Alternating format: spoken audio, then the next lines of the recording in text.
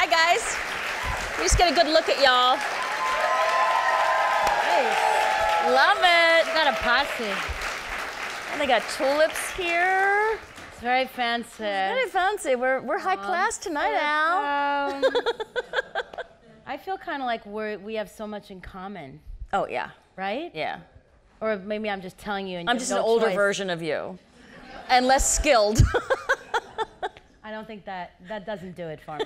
That's, that's, uh, You're always so kind to me. that is a shoddy description. um, I'm here.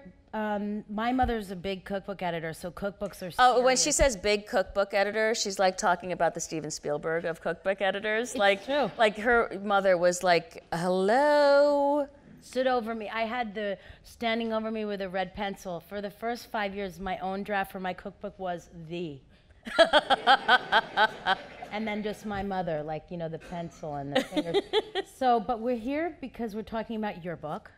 Thank which you. I re- which I read through and I really I, I I wanted to make a lot of stuff, and I read a lot of cookbooks. I, I collect them, and I also I just bought your book, your cookbook, The Home Cook, which as it came in the mail the day I left for my book tour. So like, oh, you know. So when I go home, I'm gonna start cooking out of your book. So you cook out of mine, I'll cook out of yours, and we'll like Instagram each other. I love it. I, um, I, they asked me, Food Network asked me what a, a while ago to come out to California and cook with you on an episode of your cooking show. Yes, thank God. And we made cannolis It was so fun. and we broke part of Sausage and Facebook. peppers.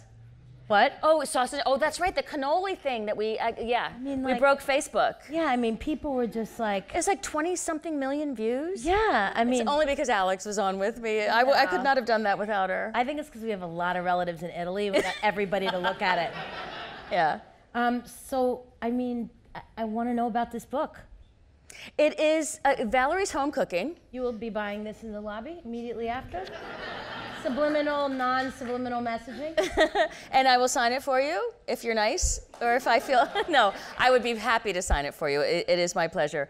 Um, it is named after my show specifically because I feel like I gained so much knowledge since I started Valerie's Home Cooking three years ago, um, through the culinary team, the culinary producers, and that amazing crash kitchen in the back and just hanging out with them. It's my favorite place to hang.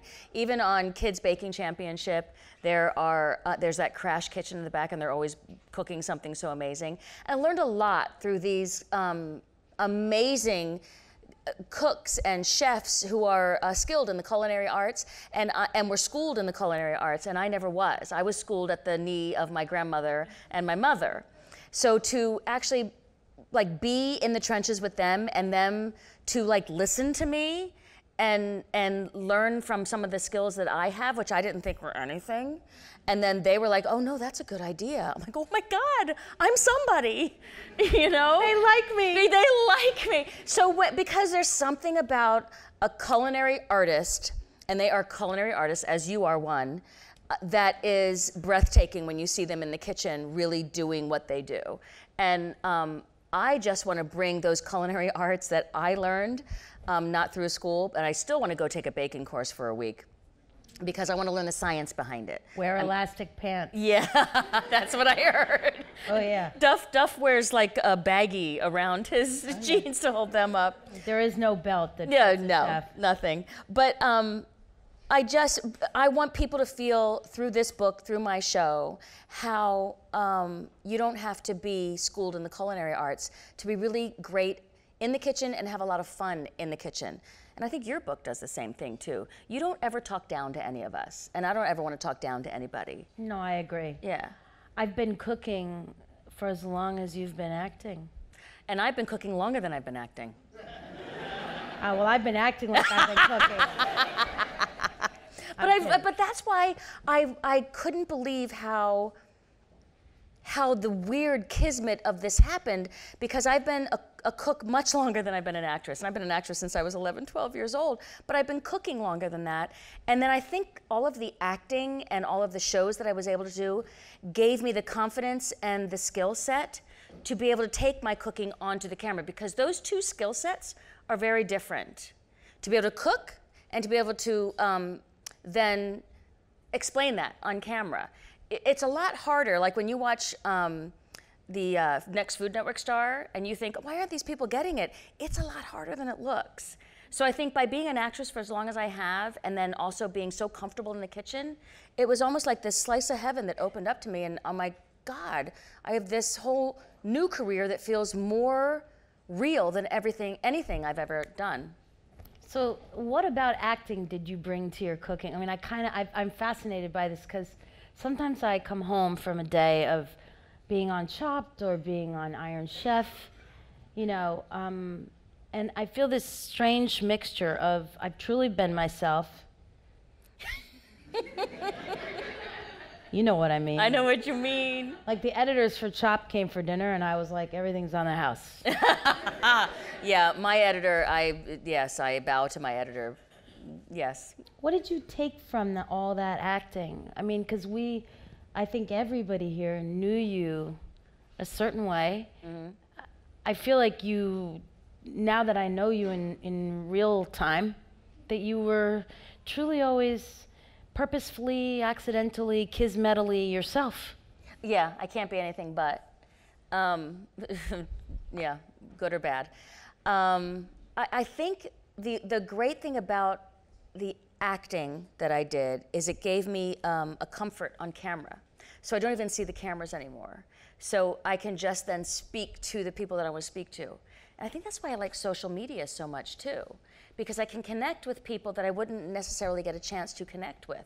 That's why I like book signings so much. I can connect with the people that actually want to connect with me and that actually want to buy my book or watch my show or or do anything that has anything to do without me, with me so it makes me want to connect with you. It's like if you want to be a part of my life, I want to be a part of your life. I want to know what you're, what's going on. I know? love when you're like, "Hi guys, I'm sick."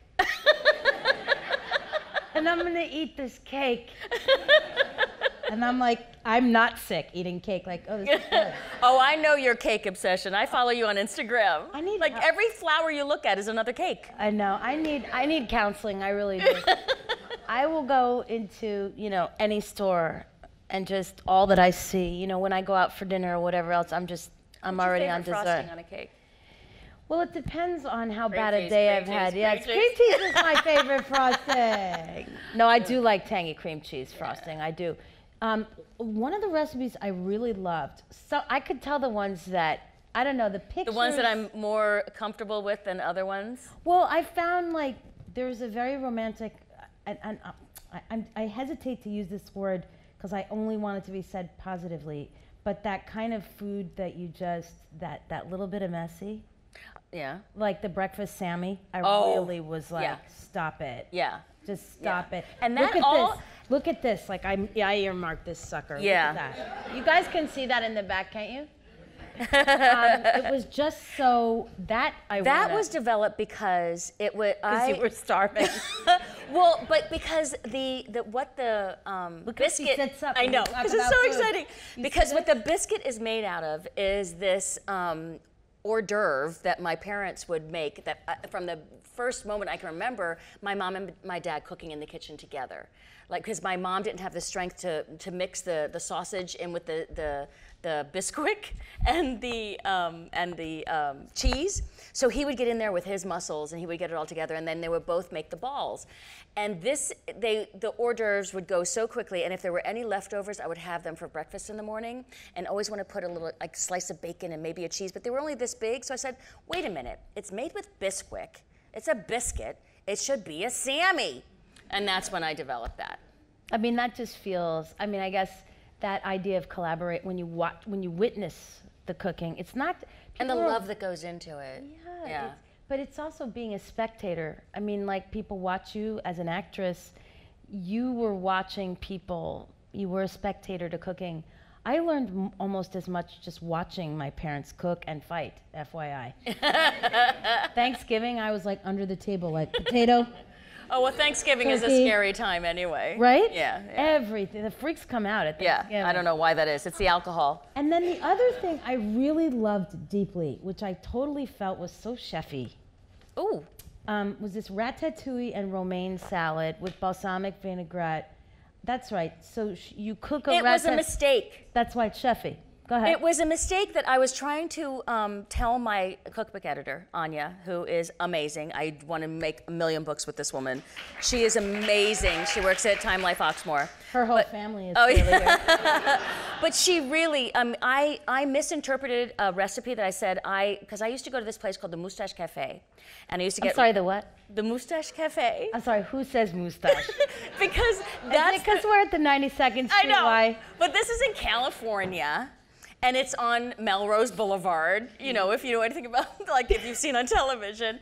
But I used to go there in the 80s, in the very early 80s, when I was still. Uh, 10. But this was even before I met Ed, my first husband, Ed? Ed Van Halen. Oh, Ed, Ed. Ed.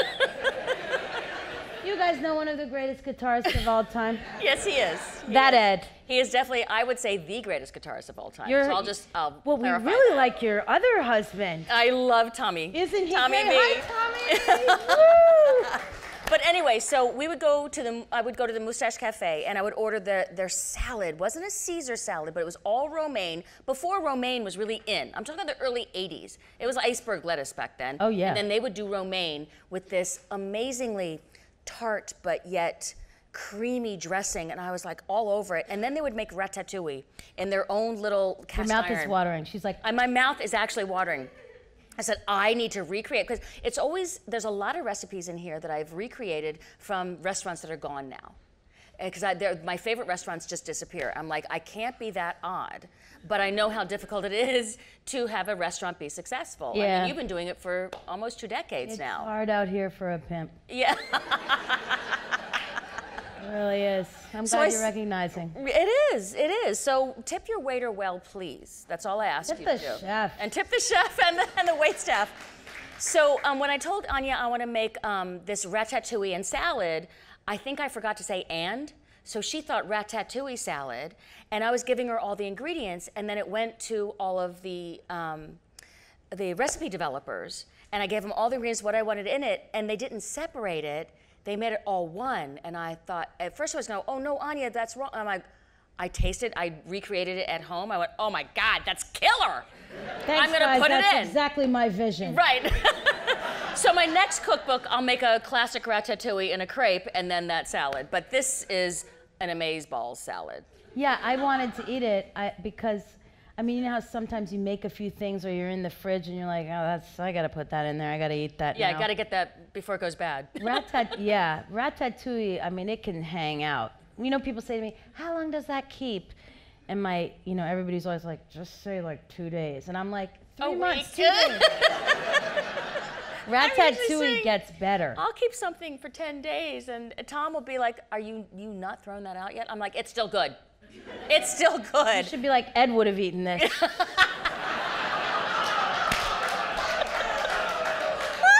no. Oh, I'm sorry. It's the 92nd Street Y. Tell me how you feel about your current husband. I'm kidding. I love your husband. Uh, yes, you and Tommy V get along very well. We we bond. We, yes, we- yes. we a little bit too really- much sometimes, I'm just saying. Okay, good talk. okay, good chat. Um, I have a, an ex-husband. He's so in love with Alex, I can't tell you. Oh, please. Yeah. Um, I really, I, I also like. There's a lot of the California side of you in this book. And Because I've been there since I was 11. is that right? Yeah. Are you okay? Do you want to talk about it? I've lived through a few earthquakes and a few fires, and Yeah. I've survived. It's pretty scary out there, but we don't have hurricanes. Listen, you're going to live anywhere in the country. There, you're going to have something natural. I mean, Mother Earth is a little pissed off right now. She's been pissed off for a while. But you know what? Was November? No, I'm sorry.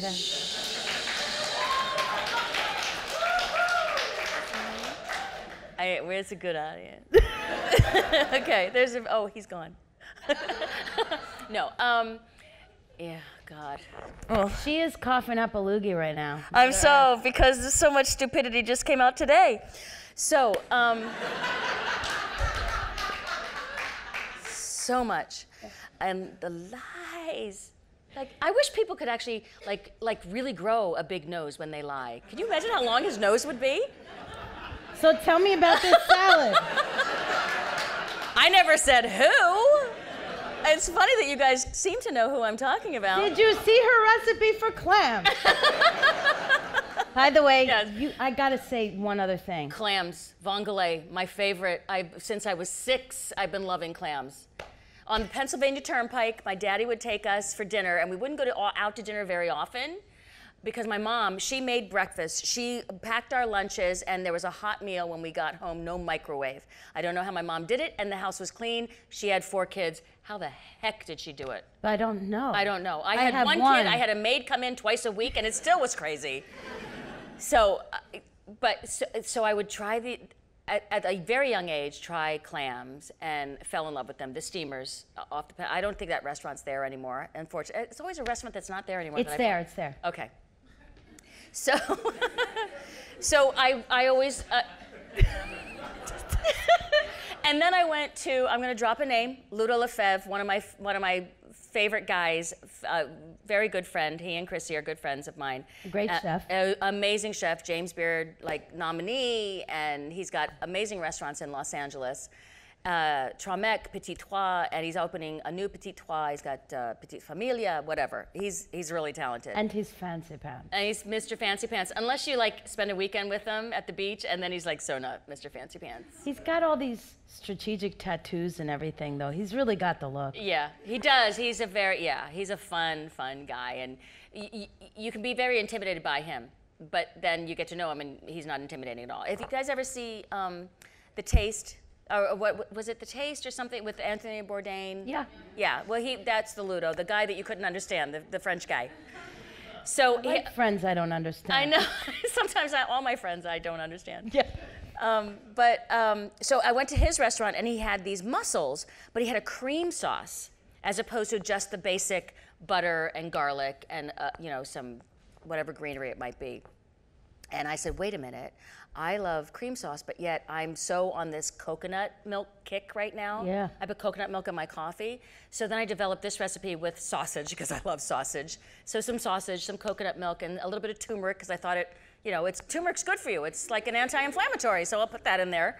And uh, I developed this recipe, and I love it. I like the balance. I mean, I find a lot of these recipes, it's it's going in an in a sort of indulgent direction, and then you pull it back with such. Um, Turmeric and coconut milk. yeah, no, I think those are great. I really think they're great choices, and they the balance. I like the sriracha bacon too. I mean, I really. oh my God. But but you know, I would put that in a bag and say it's it's jerky made from tuna. And, it tastes like jerky after Yeah. a while. Yeah. yeah. Yeah, and you can eat it cold or you can eat it hot. It's amazing. And it's only like four ingredients. I like that. Yeah. I, I, I've started to think that an easy meal is one where the sink is not piled high with dishes. So this Agreed. concept of a 30-minute meal that we've been kicking around for a long time, I think it's 29 minutes and 30 seconds of cooking and 30 seconds of dishes. Love that. That's my master plan. Slow cooker comes in there then. Yes, and that I really like. You have um, a lot, a lot of the. Um, I like the way you go through a day in your life. I love that. Thank you. And I, I like the way you begin. You drink coffee and you get really hungry. and then you decide, am I wrong? Yeah, no. That's the vibe I get that Yeah. you're like hangry, half What do possibly? Yeah. gonna be in the shining at some point. and then you're like, I'm, I'm gonna make this. Probably a good time for me not to go to the grocery store when I'm hangry. Do you have, is that a, is I try not to go to the grocery store when I when I'm hangry. Do people recognize you at the grocery store? They must. I mean, you're. I mean, we we just all Always you're looking in my cart. You? Oh, I can't. I got to go in the middle of the night. And they still recognize you. Oh, I I was telling somebody I have literally. There's a supermarket on the corner of my block. I went in. I'm shopping in the most hideous outfit ever. I mean, ever. Just like I couldn't even believe what I was wearing. I go in there, I go down an aisle, I'm in the junky cereal aisle, and there's nothing in the junky cereal aisle that's good. It's not like I could pretend I was getting turmeric and coconut milk. and somebody came around the corner and said, You know, I know you because you chopped me.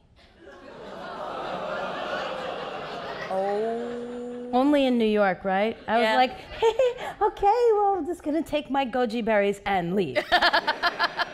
so what do people? No, do I people- want to know what you made with goji berries. No, nothing. I just fake it. I put broccoli over all my other stuff. Um, so do people say to you, "What are you doing? What are you cooking?" Or what do they, They ask do. They you come when up people to me see more you? often than not now, asking me for a good recipe or asking me, you know, uh, it's like I'm in heaven that I get to like really speak knowledgeably for me anyway about a dish that I'm excited about and an ingredient I'm excited about. Nobody comes up and asks you for like, oh, well, how would you act in this? And how would you do in this, you know, situation if you were in a movie or a TV show or on play? I'm like, no, but they do want to come up to you and ask you about a recipe or an ingredient, and it connects people. Food is love, no doubt about it. I, I agree. I think that it's a community that accepts you when they believe in your authenticity and in your expertise. So I'm so impressed. I think you really, you know, you're sort of that girl next door that we feel we know. You're, Aw. you're a neighbor. You're I've been part of the around a long time. Um, okay. but Long time. now we're sort of getting another look at what you like your humanity and what you eat and what you do with your time and how your day goes. I mean, this is a real look into your day. If you want to get to know me, it's be in a kitchen with me, read my book, my cookbook. It, that is me. This is who I am. This is the heart of me, and this is where I find my joy. Your husband said there's only one cook in the house. Do you let him cook it all? Yeah. How's that I going? stole a recipe from him actually and put it in the book. Right, I remember. The Which- espresso, the espresso steak, the steak. Uh, ribeye. He was developing this. I mean, well, he was developing it. it. No, I'm always developing stuff in my mind. But he was like, "Oh, I think I'll do a little bit of this." And honey, do you have any of that extra espresso left? You know, instant espresso left over? Uh, yeah. Uh, any more of that chipotle or whatever spice? And goes, yeah. And he, so he's playing with the steak. I'm like, that looks good. And then he lets it rest for 30 minutes, and it turns to this like glaze over the steak. And then he heats up the cast iron in the oven and then sears that glaze onto the ribeye and then throws it back in the oven to let it finish off cooking. date night. Um, yeah, date night. And this is only a, like half a glass in, and I'm like, dude, you don't have to go any further. You're mine tonight. this was the most amazing steak, and I said, by the way, honey, it, stealing it, putting it in my book. I'm making a whole rack of this when I get home. my husband came up with this recipe, and if I hadn't already married him, it would have been love at first bite. Right. Come on. He has been on. forgiven a lot through that steak. What ha- Really? So we've done some healing and some arguing. too, Are you we? kidding? It's a 13 year relationship. Yeah, we've never argued. Oh, I love that. um, I feel like this is not the only book you'll write, too. Do I you hope feel not. like you want to write more? I've got so many recipes inside my head. On my phone, I'm constantly, I was just writing a recipe today on my phone because I was inspired by something or other from some restaurant I'd been to. And I thought, well, I, oh, I was writing a drink recipe last night because I happened to have some leftover clementine vodka. I wait, hmm, clementine vodka, but if I used real vodka and really got the clementines and the cuties and really squeezed those, if I put a little bit, so I'm, well, cranberry juice, oh, I'm not gonna tell you right now, I'm moving from the next book. I like so so what you eat, what you experience really informs what goes into your books and your show. It does. And I- I actually am so envious of you because you can get more clarity when you look a, at, a, at a rose bush or something and you'll say, I'm in the mood for, and you'll bring out the colors of whatever that food is. Like uh, your Instagram feed is amazing. And it is. And I get inspired, but I'm not as like clear about what I'm inspired about. When I see something, I'll think, hmm, I want a steak because I saw a cow you know? and you're like, I want to do this foie gras with this because I saw this beautiful flower in the lake at the park. I'm like, oh God, okay. But it's like, how do you do that? Yeah, I don't know. That sounded pretty chefy to me, Valerie. Seeing a cow and wanting a steak. I mean, I took my daughter to feed ducks, and I was like, Let me just grab this little sucker. my daughter's 10. She's like, Mommy, the ducks are so cute. Look. And I'm like, hmm. Literally, like, Yeah. you know, like in the cartoon when. in my dining room, I have one to the, I have nine photos of cows, 12 by 24 by 24. I have these paintings of these cows by this artist because I just, I want it. I love cows. I'm sorry that I'm eating you, but I appreciate you. appreciate you every time I take a bite. So you sit at your dining room table eating steak and looking. Looking at a cow. Cows. Yeah. I like it. I'm a little sick that way. no, that's sound. I mean, I just think you you really are like a chef spirit animal. I, I think Although I must say, I made a porchetta. she's sitting up again. oh, We're talking about food. So you say She's like, porchetta or porchetta? I say porchetta. Okay, I say porchetta too, but some people are like adamant that it's porchetta. Well, I mean, if Giada De Laurentiis were here, we'd have to really break I would down. have to listen to her and see what she said. I just turned to her for the uh, the Yeah. Italian pronunciation. Right. So I yeah, but I made it the other day and um, there was too many nipple. It's a it's a pork belly. The porchetta is made from pork belly, and you want to get that skin, and you need to um, score it to get that nice crispy like, you know, pork skin out of it, like you like uh, chicharrones. Exactly. Right. Um, but they're a little bit thicker and a little bit more fat to, to them, and I'm scoring it, and I run across a nipple, and I go, okay, I'm a vegetarian. That's it. I'm done. Maybe I ate you it. should- I ate it. I'm sorry. I ate it. Maybe you should hang some pictures of pigs. Oh, I No? know, because No? they're really smart. Yeah. So I have a hard time with that, but I still doesn't stop me from eating bacon in the morning. So there you go. I'm just a hypocrite. I like it. I don't think if you are you a hypocrite if you admit it. So you love a pig and you still that. eat it? Yeah, I'm. Um, I'm not gonna be a vegetarian. I mean, I my friend has a really great cat, like a Maine Coon, and it's like 40 pounds or whatever. And this cat is gorgeous. And I'm look. Is this petting the- Nacho Flay? It's Nacho. and I'm I've never met Nacho, and I'm very jealous. I'm petting the cat and I'm like realizing that I'm slowly starting to rub it like it's a turkey. and I said, "I'm give me some soft butter." And I'm just so I am not gonna be the veg. I'm, I love produce and and vegetables. yes, the greener the better. But um, and I love the use of vegetables. I feel like you really. I love roasting them. Like I love roasting radishes because it, it you know how um, roasting usually intensifies the flavor of a lot of vegetables. Yeah. I feel like when you roast a radish, it kind of intensifies the flavor, but yet mellows out that that bite, that peppery bite that radish can have. Yeah. And it just makes it that much more delicious. Uh, it, so I love I love radishes though. I, Any- any I type. think that's a really great description. I think as the water comes out of them, so does that. It's almost like that bitter edge that makes us not love eating them. Either Mm. I want a radish that's raw that you burn your mouth off eating, Right. with the little drive-by and butter, Yeah, a prune. right? that is a prune moment. Yeah. Or I want it roasted. Yeah. So, what is your favorite vegetable? Uh, I was going to say broccoli, but I really I do like a good radish. If I c- could only choose one veggie for the rest of my life, I hesitate to say kale, but it's so good for you. Oh my God, you can't pick kale. How about if it's a lacinato kale? All right, Lasternado, or the Californian in you. But I also love you love avocado. I love avocados. Good fat. But that's not really, it's fruit, right? It's fruit, right? So is a tomato. I don't want to get a lot of emails like, Dear don't. Miss Guarnaschelli, Don't. I know. I hate to break it to you. so you've done this, you've done your cooking show. Do you get nervous when you're when you go when you're All the I mean, you're time. on food, you know, you're on a cooking channel now. Do you feel like a different set of eyes is on you, looking to you for a different? Oh, the judgment, yeah, is, is super loud sometimes. And I feel like um, I'm happy to let people judge me and just let my, my um, cooking do the talking because I think I'm a really good cook. And it, it took a lot, I mean, even as I say that, my brain is going, oh, naughty, naughty, how dare you say something nice about yourself? But I am a really, really good cook.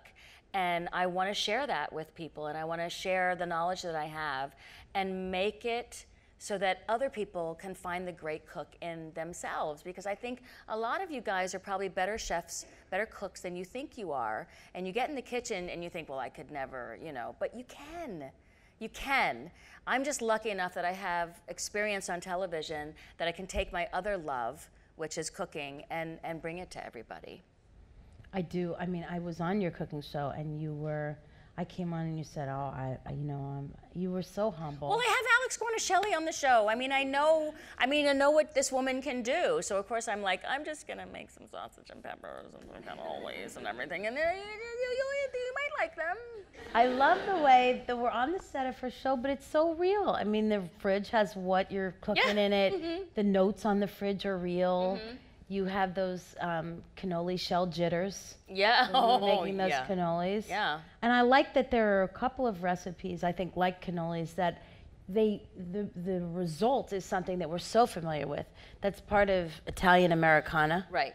But it's it's something people don't make at home. Right, because it takes a slightly little more bit of effort, but it's so worth it when you do it.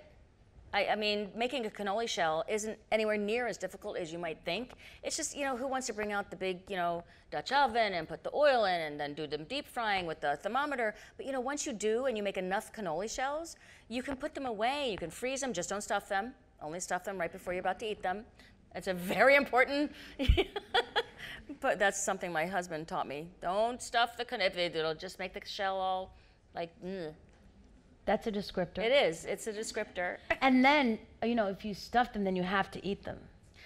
Unfortunately, unfortunately. yeah. That's where you need a lot of friends. or um, not. Or not, yeah, really. A good movie. Or you need a really good excuses. sad movie that you're crying and eating the cannoli. Yeah. So you do that too? no? Why would you think that? Of course I don't do that. I've So- not seen Notting Hill a million times. I love that.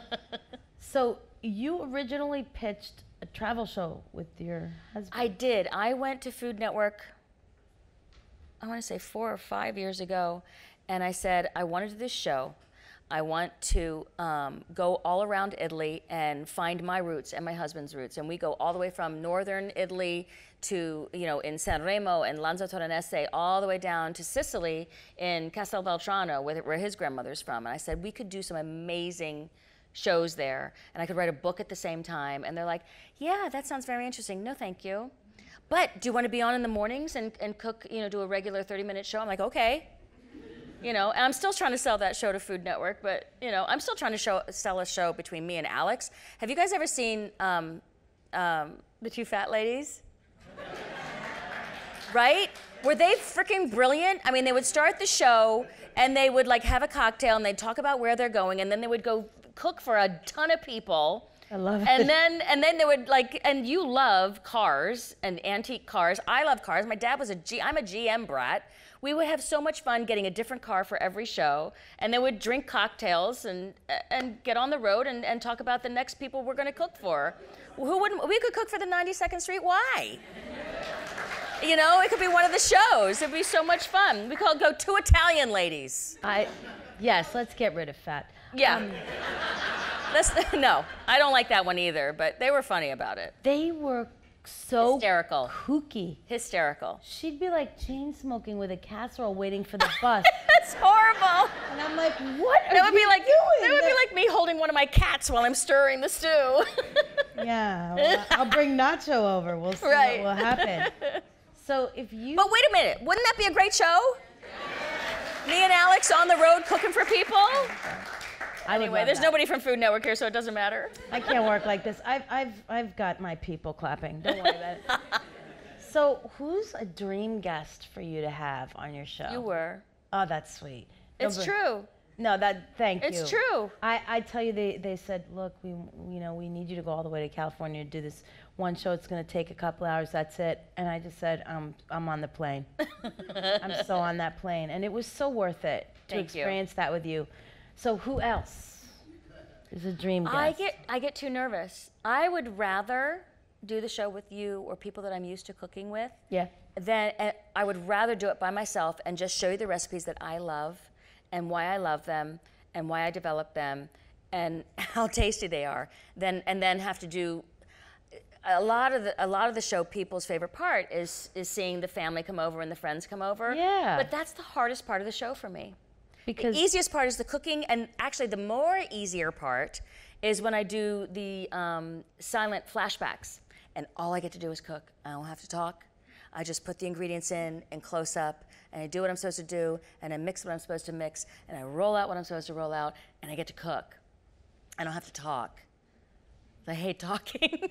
you would never know that. I'm so glad we're in conversation right now. But my, I mean, I, believe it or not, I'm an introvert, and I just my happiest place is just cuddled up with my cats or rolling out a pie dough and making a pie all by myself. So it's it's a it's a big step for me to do this in front of people, and I can't even begin to say how grateful I am that people have accepted me in this arena. I mean, it's really breathtakingly like that that I get to do this now at 57. It's crazy. So, would you call this the best chapter of your life so far? Absolutely. I had to. Absolutely. I had to Absolutely. use journey or chapter at some point. it's not an interview. It is the don't best chapter, uh, uh, except for that little tiny chapter in 1991 when I gave birth to Wolfie. This is the best chapter of my life. I was next going to ask you about Wolfie. Has he been on the show? yes, you've seen the show. Yeah, he's been on the show uh, kicking and screaming. He hates to come on the show Why? Uh, because he doesn't like being on camera, and he like he'll stand on stage in front of 20,000 people, but he doesn't want to be on camera. Don't I? yeah, I don't because I hate being on camera too. but I you, was you just do it. Say, I love how you just describe how annoying it is, to, and Right, and then and you're that's saying me. you. It's exactly you. Yeah. Well, I annoy myself too. Okay, so you just sit at home like, oh, I'm so annoyed. Yeah, we're so annoyed. but you, you, I mean, clearly your son has been such a magical part. Yes. Just like your daughter. Oh, right? yeah, I mean, can the you imagine best. your life without her? Best recipe I ever cooked up. A rough one. Yeah. Ups and was downs and some, you know, burnt burnt pieces and some undone pieces, but yeah. Oh yeah. I mean, my daughter came out and kind of looked at me and my ex-husband like.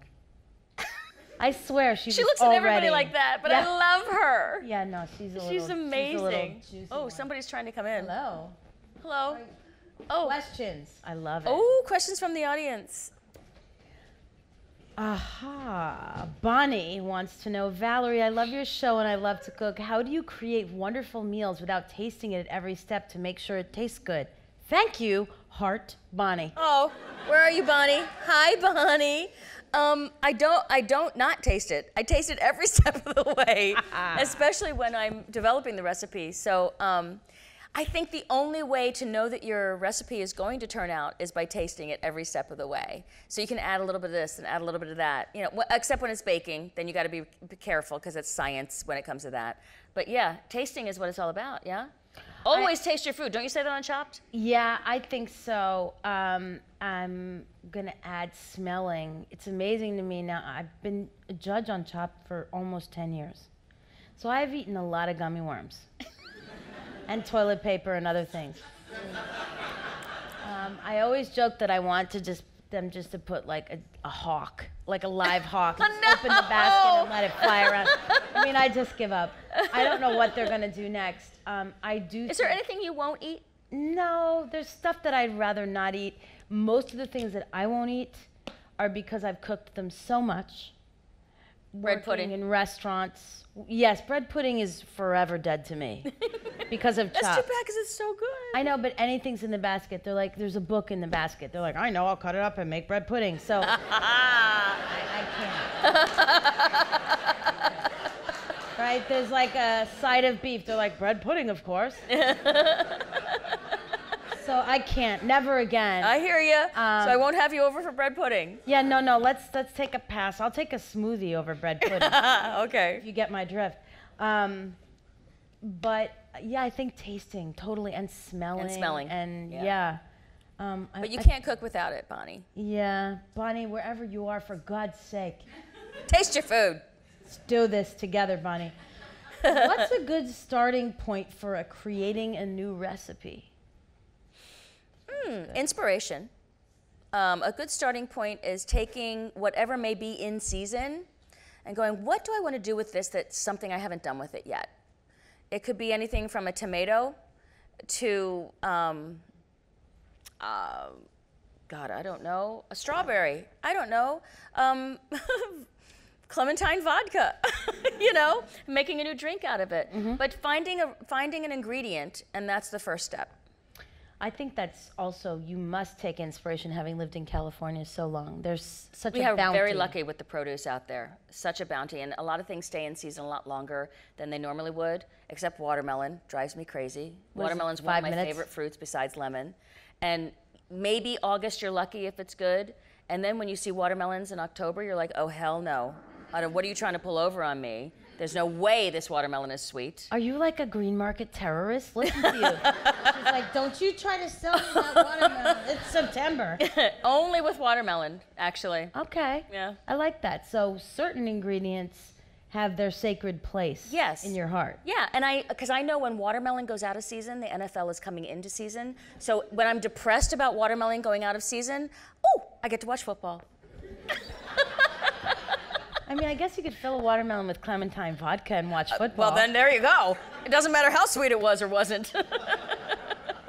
I like uh, this is an interesting total departure. Having been on a sitcom in the 70s and 80s, then much later on in the 90s, when did you what did you find most different about production from one to the other? oh, are you But talking about from one day at a time to Hot in Cleveland?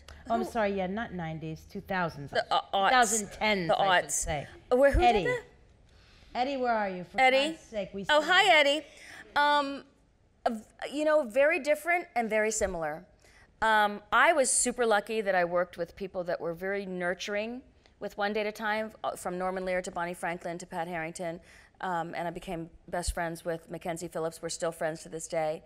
Um, and then that was a four camera show in front of a live audience. And then I did a few movies through that, and then a um, few shows that were one camera shows. And then to do Hot in Cleveland, again, was a four camera in front of a live audience. So that muscle, and you know what it's like to be in front of a live audience. Yeah. It is exhilarating. It, the, the audience is um, another member of the show. They're, they're another cast member, they're another character because you can feel them with you. The energy is amazing. You can feel when they know your character so well that when when one character gives a line, they're waiting for the other character to react to it. And that's when you know you have a hit on your hands. And I felt that with both One Day at a Time and Hot in Cleveland. And Hot in Cleveland was like I- I still can't believe that they canceled us. I thought I thought, "Oh my god, TV Land, you're so stupid." I mean, why would you cancel us for because you want to get a younger audience? I mean, I, I sound so angry. I don't mean to be angry. I'm just, I'm disappointed because we had a good couple more years in us. And Betty Great White show. is 90 freaking five right now. Take advantage of that God blessed woman. I agree. Yeah.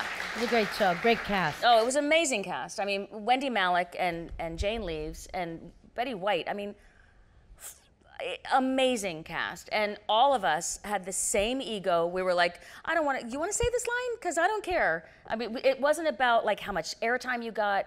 It was just about what's going to make the show better. And the writers were amazing, and TV Land is still stupid. Good talk. so you broke. I'm not opinionated at all. no, no, I'm glad. I, I feel we were both very dull. so you broke up with TV Land, and you and you. They broke up with me. You- I'm just saying. it was on your terms. You broke up with them, No, they broke up with me. You broke up with them. You broke with up with TV them. Land. and now you're dating Food Network, and it's going but great. see, Food Network is supposed to be my summertime fling, oh, and I was gonna do I was gonna do my show every summer when I finished with Hot in Cleveland, and then TV Land broke up with me, but then Food Network became my husband. you've had a lot of husbands, haven't you? TV Land, Ed, Food A lot of relationships in my life. I like it. But isn't it weird how when you're with a network or like with my publishing company, um, Time and Oxmoor, you become a family because you work really closely together and you become a family. And I really feel like I'm a part of the Food Network family now. And it is like, thank you. But I, d- please don't break up with me. I don't think they Am are. I begging? That's not good. No, no, it's okay. You're doing great.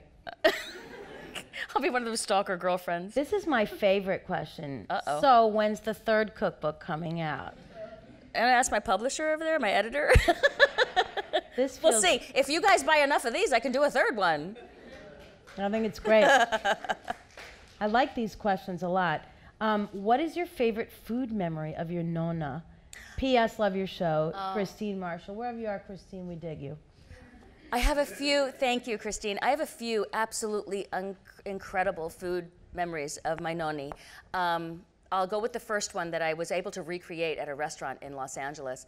My, uh, my nonni would make this cappelletti, and I would watch her make it, and I was finally able to recreate it uh, long after she had already passed away. Um, because my Aunt Adeline gave me the recipe. But um, she would make the cappelletti, and while they were still fresh, she wouldn't even put them in the freezer. She would plop them in this beautiful golden chicken broth and then just hand me the bowl right there and then, then just scrape a little parmesan right over it. And it was the most, my mouth is watering again. It was the most amazing bowl of soup I'd ever had in my entire life. I'm six years old. But still, to this day, I, you put a cappelletti and brodo in front of me, and I'm dying. So I went to Mozza in Los Angeles, which is Nancy Silverton. That little uh, joint. Yeah, that little joint. With your husband Ed. But no, I this see. was no, this no. was Tom. I mean to say, I like the way you uh, you undersell things. Mozza is pretty much. It's amazing. The it's greatest amazing. restaurant it's in Nancy Los Silverton and Mario Batali and the um, um, the, uh, uh, Bastianich family. Bastianich. Ba- Ba- Bastianich, thank you. My Italian sucks. Um, so uh, I went there and I had the soup and I cried, literally cried sitting at the table going, Noni, my noni is right here, right now with me. I was in that basement kitchen. I was watching her form the cappellettis. I was watching her ladle it out for me in a restaurant that I'd never been in before. And I cried. That is the power of food. It can bring you back to a memory, to a, um, a beautiful memory in your life where you feel love and where you feel connection with another human being. And she would also make this crescia that I now found out that in certain parts of Italy, a crescia is a, either Easter bread or what my grandmother would make is this beautiful pizza dough or her bread dough. I love how your mouth's watering. Uh, it is. Mwah, mwah. And, and then she would just slice very thinly these um, uh, onions all over it and then sprinkle it with a, just a little bit of garlic and just a, the slightest bit of salt and then spray it with olive oil and then put that in the oven and it was the best piece of bread I've ever had. So I, yeah, I have some memories with Noni. um, my mouth is watering still. Any other inspirations in the kitchen? So your mother too, right? Oh, my mom. Like I was saying earlier, she would um, she would make breakfast for us while she was also packing our lunches. And then by the time we got home from school, there was a warm dinner in the oven. She would make a mean roasted chicken like you could not believe, which I've still not developed because I don't feel like I've actually gotten to my mom's roasted chicken yet. Uh, I, I will I will go out and get a chicken at Gelson's. Uh, Gelson's, that's California, like a, a local market where they're roasting a chicken over the spit, and I'll buy that because I think I can't. I give up. I cannot recreate my mom's chicken yet. Yeah, it's so simple. It is, but there's a gift.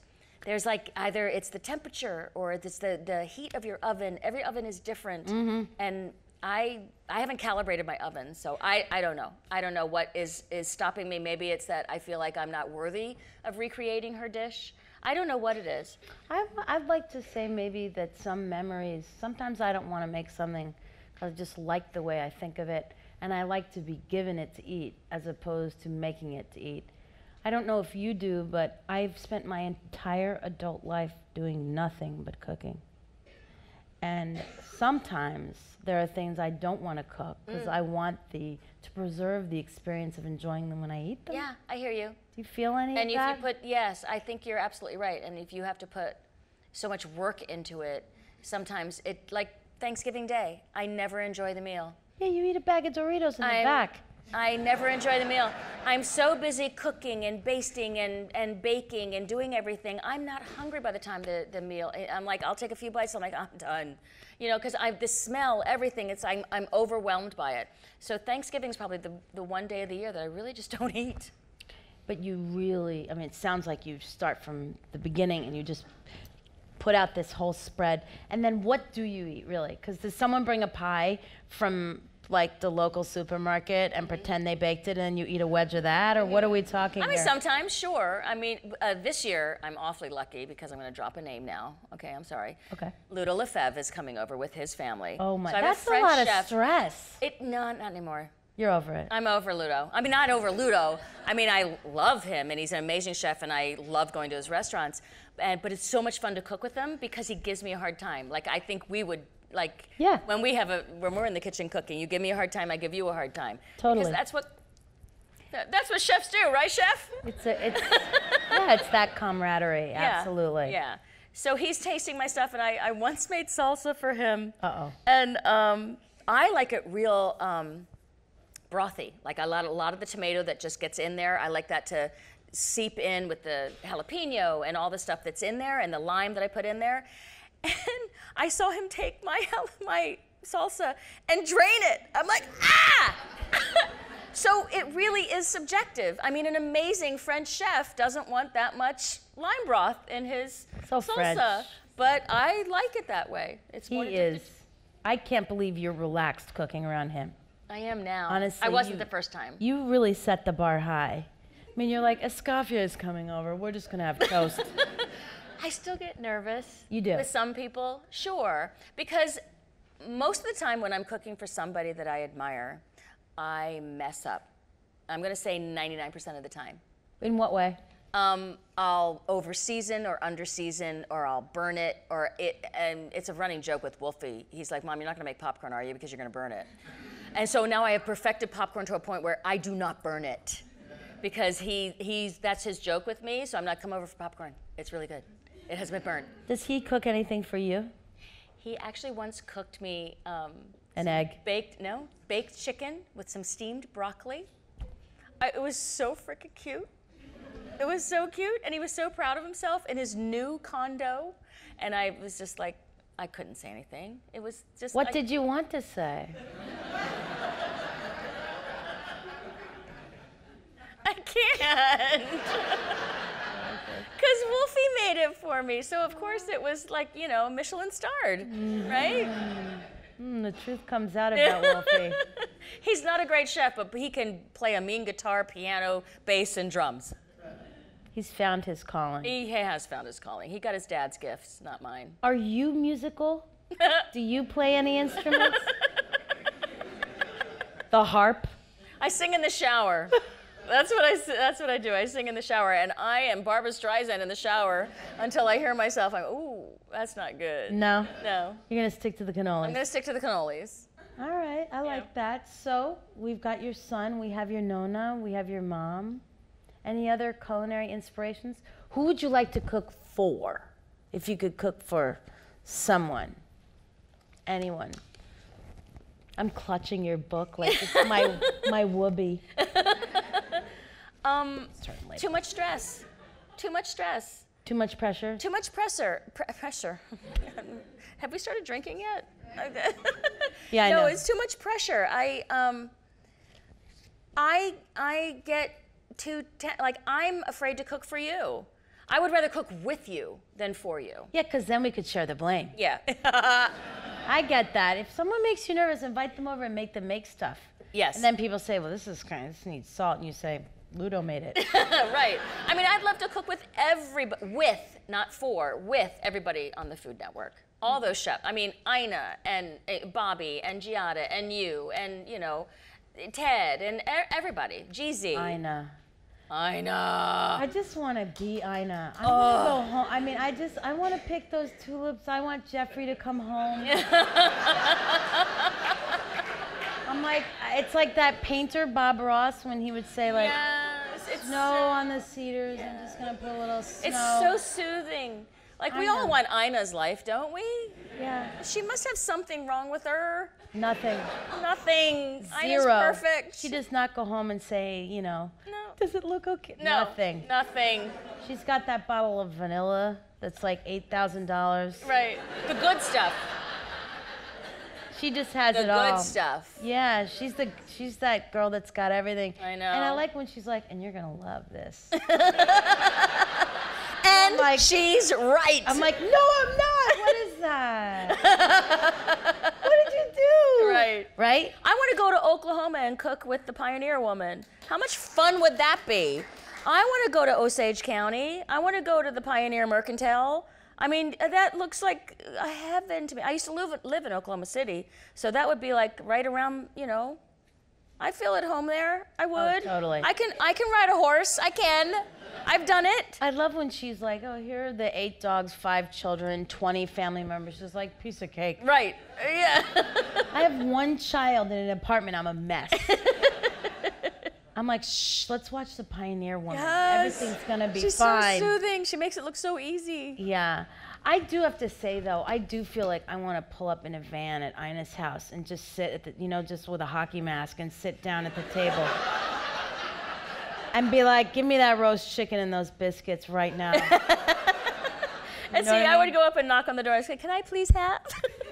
Yeah. You go, you show up in the hockey mask, and I'll go ask. Great. Yeah, no, it's just something. You know, when she opens the door and she's like, look at this garden, and I'm like, oh, and her giggle. I love Yeah. her giggle. she's got a lot of mischief in her. Yeah. But I, I do, I mean, I do watch your show. I enjoy watching you. I think you, you make me feel, I mean, I look at cooking shows. I'm, I've been doing nothing but cooking. So Forever. I, I'm someone who needs to be disarmed first, and then I can relax and enjoy. And I, I personally, as a viewer, I watch Food Network a lot. And I think I need to believe you. I need to I need to feel it. And Right. I I think that goes to the tasting question and the recipes you choose and the way you are in your kitchen.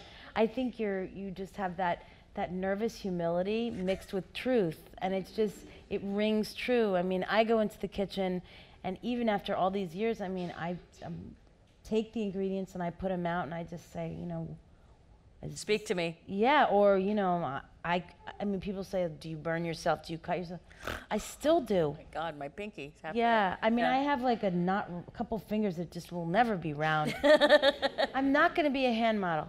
Not me either. No, those days are over. My nails are just growing back, and my cuts from I just did two months of my show, and I, my it just destroys your hands. Now, How does Giada keep those beautiful hands, by the way? I have. She's amazing too. She literally rides in on a magic carpet and is like, she does. ding. She does. Ding. Girl never sweats. She never. She's always. Every time I've seen her Perfect. at anything, she's always looks perfect. right.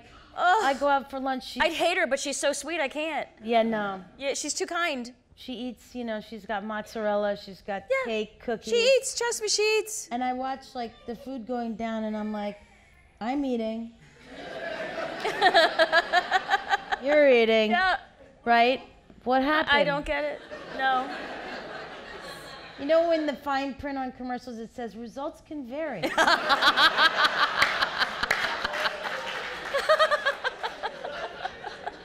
I don't know. But I believe her too, and especially Totally. if you go to her restaurant, she has a sweet tooth like nobody's business. Oh. So she eats, but she'll, she really gets into cake. And if you give her cake that's not good, it's it's it's a Forget big- about it. It's a big Okay. I'll never make her cake. I'll never make her cake. But you go to her restaurant, you eat the whole meal, and then dessert is literally like the Queen of England comes out with the tray of cakes, and you just feel how she eats is in the sensibility of her restaurant. I really, I read this book, and you know, I got this book, um, I think a week or two ago, and I, I just looked at the cover and I thought, there she is. She's so filled with mischief and spaghetti. Mm, yeah. And slowly I kind of flipped through the book. First, I read about your story, and Because I think every recipe does have a story. you really are, as we say, the romance copy. The paragraph at the top, you see, the baby's hungry too.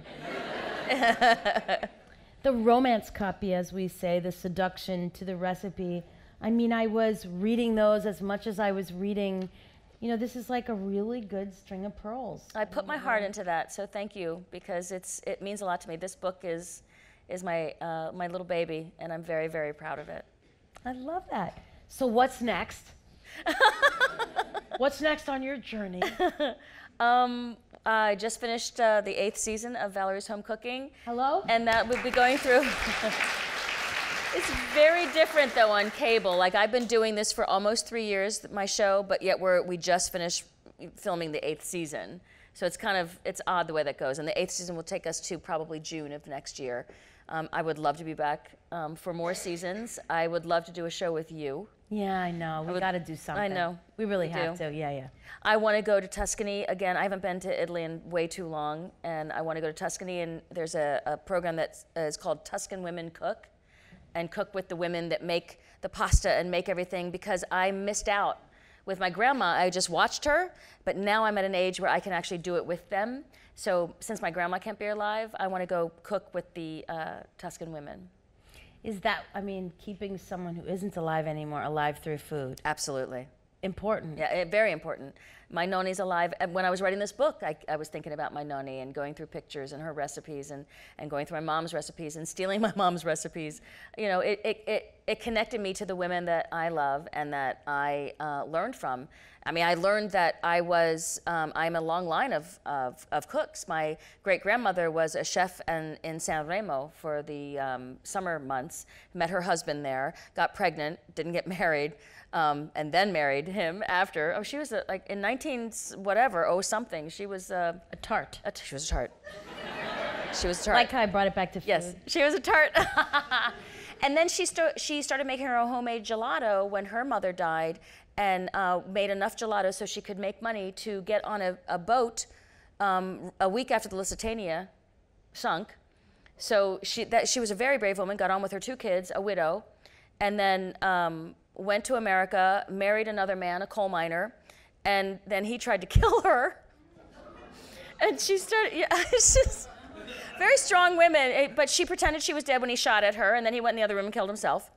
So uh, it's horrible. Results can vary. It's results can vary, but what I but she is a, a one in uh, many of very very brave, strong women in my um, in my background. And then I go to my mother's side, and it's even crazier. We go all the way back to Henry, the I mean um, William the Conqueror. So all the way back to you know the house, and so I I don't know. I have a lot of a lot of people to compete with in my family. Do you think Ina has a personal history like this? Everybody is perfect. They all have bottles of vanilla and tulips. Yeah. My vanilla's probably gone bad because I buy too many bottles and then I open too many of them. So I, I- have to I throw some out. I love the smell of vanilla. Me, I always overpour. Always. Never use a teaspoon. I always overpour. It's so, it just adds Yummy. such unbelievable flavor. Yeah, and while you overpour, you can take a little and go like this. I agree. On all the little, All the little pulse points. honey, I'm home. yeah. Um, I read that vanilla was originally made to flavor chocolate and not to be its own flavor. And I That makes realized that sometimes I eat a piece of chocolate and I can taste the vanilla in there, and it's just so juicy, mm-hmm. isn't it? Yeah, it, it rounds that flavor out. I agree. I'm getting. I've, uh, this conversation has actually made me hungry, not for bread pudding, but it has made me hungry for many things. So, I guess I just want to know. Um, you must have some guilty pleasures. I always want to know what people's guilty pleasures are, and it can't be like a millefeuille that you ate on a terrace ten years ago when the raspberries were perfect. It has to be Who kind. are you? Do you think you're talking Oh, I to? want to know about your junky spirit animal. I do because I love an In-N-Out burger, like a double double animal, with no fries, because their fries they need to work on that. Okay, and and it. I actually love In-N-Out fries. You do. But you have to eat them when they're super duper hot. Once they go start like a little warm to cold, forget about it. Nah, throw them away. But and, but I like the bread on an In-N-Out burger, that crispy edge. Oh, yeah. oh that's that's the best part. Best part. And I don't get a double double. I just get a single because I want that bread. Hmm. And there's one right down the hill from us, and it's so hard to drive by it. I can't even begin to The tell smell. you. Smell. Oh yeah, you smell it. For, but as if I see a nice long line, I'm like, good, can't go. it keeps What, me like- from going. There's a line all the way out all What's the time. long, like a hundred cars? I'm- Because uh, for me, when- I'd be like, there's only 80 cars. I'm waiting. When when the line goes all the way through the parking lot and out onto Ventura Boulevard, I'm not going to go in Not that you're looking every time. every time. Every time you look. No. I'm not. yeah. I am.